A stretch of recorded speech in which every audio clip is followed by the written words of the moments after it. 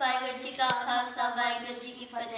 We would humbly like to sing the Shabad in memory of the amazing seva that Chacha Jagraj Singh Ji did for our Khalsa We would also like to sing this Shabad in support of Chacha Jagraj Singh Ji's family, especially for our brother and sister, Seva Singh and Darshan In this Shabad, Guruji also reminds us that Vaheguru protects us at all times in life, no matter what happens. Guruji also reminds us that we should remember Vaheguru, whether we're sitting down or standing up, whatever we're doing, and that Vaheguru removes all fears. राखा